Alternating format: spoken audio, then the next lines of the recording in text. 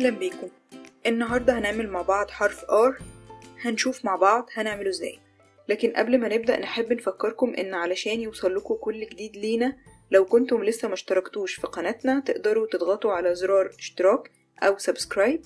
ولو كنتم مشتركين اتأكدوا إنكم فعلتم التنبيه أو ال notifications من علامة الجرس. الخيط اللي هنستخدمه هو Alize Cotton Gold والإبرة اللي هنستخدمها معاه مقاس 3 ولو حبيتوا تشتروا أي أدوات أو مستلزمات للكروشيه أونلاين موجود تحت في الوصف link تقدروا تشتروا منه من أي دولة في العالم. هنبدأ سلسلة البداية هتكون 19 غرزة سلسلة.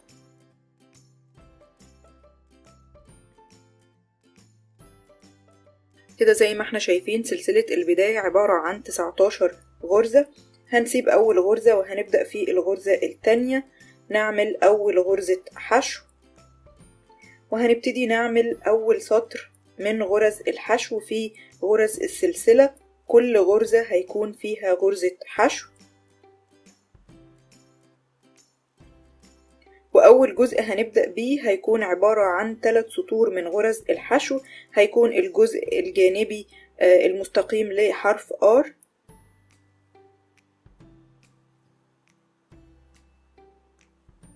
هنكمل أول سطر لآخر السلسلة.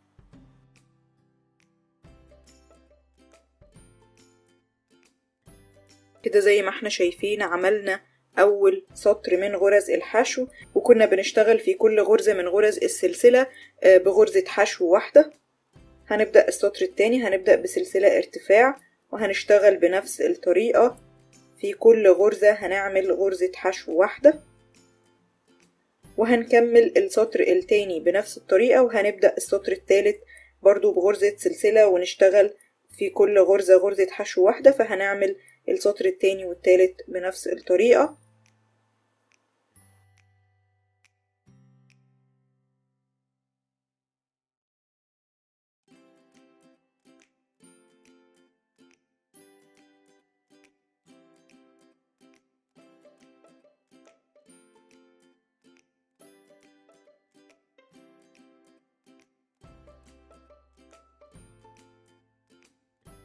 كده زي ما إحنا شايفين بعد ما عملنا أول جزء زي ما إحنا شايفين ده هيكون شكله الجزء اللي في الجنب عبارة عن ثلاث سطور من غرز الحشو زي ما شفنا في كل غرزة كنا بنعمل غرزة حشو واحدة.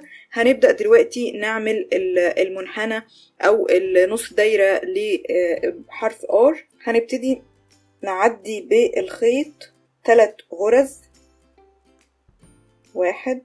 هنعديهم بغرز نائمة أو منزلقة. اتنين تلاتة يبقى زي ما إحنا شايفين. عدينا طرف الخيط عديناه تلات غرز زي ما شفنا عملنا سلسلة. أول غرزة فيها غرزة نائمة الغرزة التانية فيها غرزة نائمة والغرزة التالتة فيها غرزة نائمة. علشان نبدأ من هنا نعمل السلسلة سلسلة البداية للجزء نص الدايرة. وهنعمل سلسلة البداية للجزء ده هتكون 12 غرزة سلسلة. زي ما إحنا شايفين بنبدأ بقى السلسلة من بعد الثلاث غرز اللي إحنا عديناهم. علشان كده إحنا عملنا غرز نائمة في أول ثلاث غرز عشان نبتدي من هنا نعمل السلسلة. وزي ما قلنا هتكون 12 غرزة. وهنعد من المكان اللي بدأنا عنده السلسلة. واحد اتنين تلاتة أربعة خمسة ستة. هنسيب خمس غرز وعند الغرزة رقم ستة بغرزة نائمة أو منزلقة هنوصل السلسلة علشان نبتدي نديها شكل المنحنى أو نص الدايرة. وهنبدأ على طول من أول غرزة نعمل غرزة نائمة أو منزلقة. يبقى إحنا بعد ما نقلنا طرف الخيط ثلاث غرز لجوه عن طريق إن إحنا نعمل في كل غرزة من التلاتة غرزة ناعمة أو منزلقة ابتدينا نعمل السلسلة اللي هنبني عليها النص دايرة لحرف R.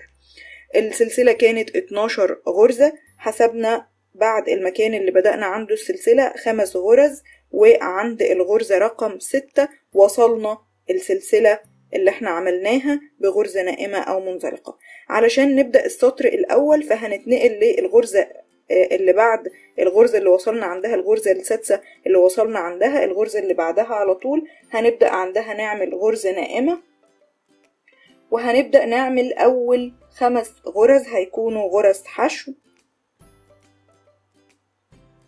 هنشتغل في السلسلة أول خمس غرز من السلسلة هنعمل في كل غرزة غرزة حشو واحدة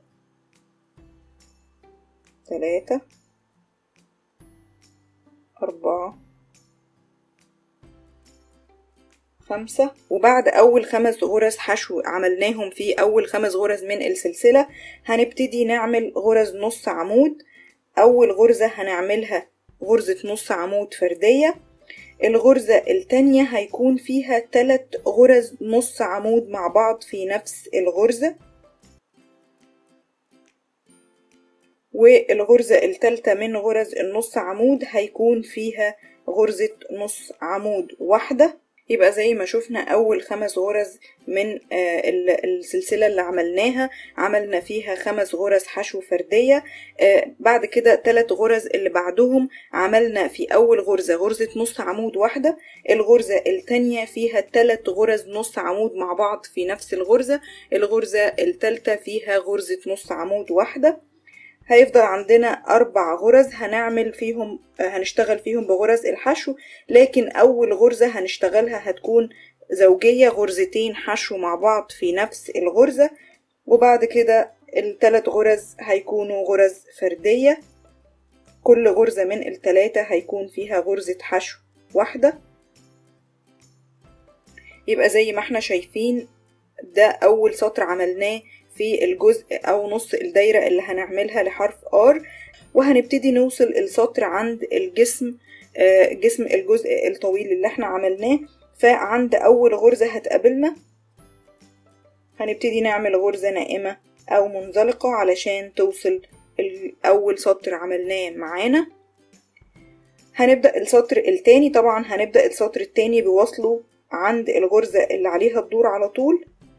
إحنا وصلنا عند أول غرزة قابلتنا في نهاية السطر. الغرزة اللي بعدها هنبتدي نوصل عندها السطر التاني بغرزة نائمة أو منزلقة ونبدأ نشتغل في السطر التاني. هنبدأ السطر التاني بخمس غرز حشو فردية. كل غرزة هيكون فيها غرزة حشو واحدة تلاتة أربعة خمسة.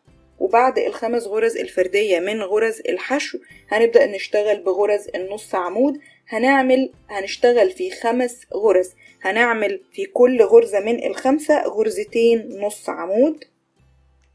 أول غرزة فيها اتنين نص عمود. الغرزة التانية فيها غرزتين نص عمود. والغرزة التالتة فيها غرزتين نص عمود. والغرزة الرابعة.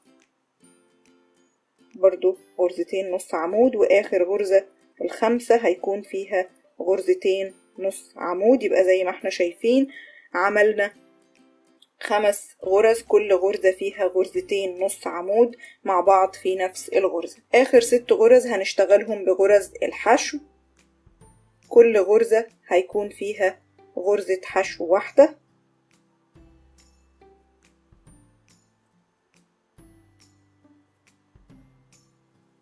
وطبعا هنوصل السطر عند الجزء المقابل أو الغرزة المقابلة ليه بغرزة نائمة أو منزلقة. يبقى زي ما إحنا شايفين الجزء النص دايرة أو السطر التاني من النص دايرة اللي إحنا هنعملها لحرف الآر. هنبتدي دلوقتي نعمل الجزء أو آخر جزء فيه حرف الآر. هنبدأ من مكان المكان اللي إحنا فيه بسلسلة سلسلة البداية للجزء ده وسلسلة البداية هتكون عبارة عن تسع غرز. واحد اتنين تلاتة أربعة خمسة ستة سبعة تمانية. تسعة. زي ما شفنا سلسلة البداية عملناها عبارة عن تسع غرز. هنسيب أول غرزة وهنبدأ في الغرزة التانية نعمل أول غرزة حشو. وهنبدأ أول غرزة هيكون فيها غرزتين حشو مع بعض في نفس الغرزة. دي الغرزة التزايد اللي هتكون في السطر ده بس. هنكمل باقي الغرز فردية. كل غرزة هيكون فيها غرزة حشو واحدة.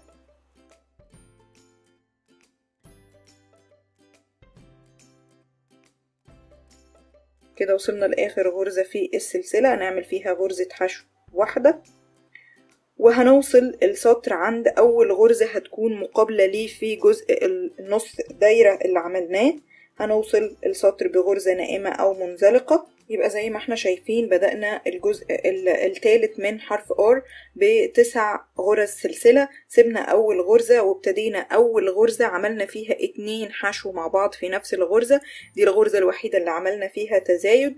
كملنا باقي الغرز للسلسلة بغرز حشو فردية. كل غرزة فيها غرزة حشو واحدة وعند أول غرزة مقابلة للسطر اللي إحنا عملناه وصلنا السطر بغرزة نائمة أو منزلقة في جزء النص دايرة اللي عملناه. هنبتدي السطر التاني هنبدأ طبعا الغرزة اللي عليها الدور هنبدأ عندها نعمل غرزة نائمة أو منزلقة علشان نبدأ بوصل السطر التاني. والسطر التاني هنبدأ على طول نشتغل في أول غرزة غرزة حشو.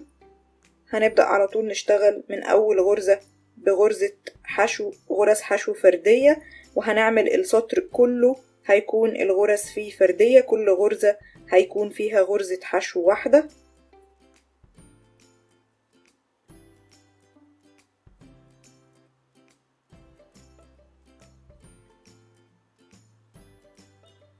كده زي ما إحنا شايفين عملنا السطر التاني. هنبدأ السطر التالت زي ما قلنا السطر التاني الغرز فيه كلها كانت فردية. السطر الأول أول غرزة ابتدينا بيها كان فيها تزايد اتنين حشو مع بعض وباقي السطر كان فردي. السطر التالت هنبدأ بعد غرزة السلسلة هنبدأ أول غرزة هيكون فيها غرزتين حشو مع بعض في نفس الغرزة وهنكمل بعدها السطر فردي. كل الغرز فردية كل غرزة هيكون فيها غرزة حشو واحدة. وطبعا بعد ما نوصل لنهاية السطر هنوصله في الغرزة التالتة على طول أو اللي عليها الدور بغرزة نائمة أو منزلقة. كده زي ما إحنا شايفين عملنا حرف R. وممكن نكتفي بالطبقة دي لو إحنا عايزينه يكون بسيط أو لو حابين إنه يكون مجسم فممكن نعمل طبقة تانية بنفس الطريقة وبنفس الخطوات. كده عملنا طبقة تانية. هنبتدي نوصل الطبقتين مع بعض وهنعمل لهم إطار. هنبتدي ندخل الإبرة من غرزتين في كل طبقة. غرزتين متقابلتين ونبتدي نوصل الخيط. وهنبدأ نمشي بترتيب الغرز في الطبقتين كل غرزتين متقابلتين بالترتيب. هنعمل غرزة حشو توصلهم. الغرزتين اللي عليهم الدور هندخل في الغرزتين بالإبرة ونعدي الخيط ونسحب ونعمل غرزة حشو. الغرزتين اللي عليهم الدور هندخل الإبرة ونعدي الخيط. وبرضو هنعمل غرزة حشو توصلهم. ودي هتكون الطريقة اللي هنعمل بيها الإطار والإطار هيلف على كل الأطراف الخارجية للطبقتين مع بعض وينتهي عند المكان اللي بدأنا منه والجزء ده برضو هنعمل فيه إطار. وكله هيكون بنفس الطريقة كل غرزتين متقابلتين هنوصلهم مع بعض بغرزة حشو. فهنكمل للآخر ونعمل إطار كامل يوصل الطبقتين مع بعض. كده زي ما إحنا شايفين بعد ما عملنا الإطار الخارجي وزي ما شفنا الإطار بيلف على الحرف والطبقتين يوصلهم كلهم مع بعض والإطار عملناه بغرز الحشو كل غرزة حشو بتوصل كل غرزتين متقابلتين في الطبقتين. ودي كانت آخر خطوة في عمل حرف R. لو عجبكم الفيديو ده ما تنسوش تعملوا share و like ولو عندكم أي استفسار اكتبوه في ال comments وعلشان يوصلكوا كل جديد لينا اعملوا subscribe لقناتنا. وشكرا.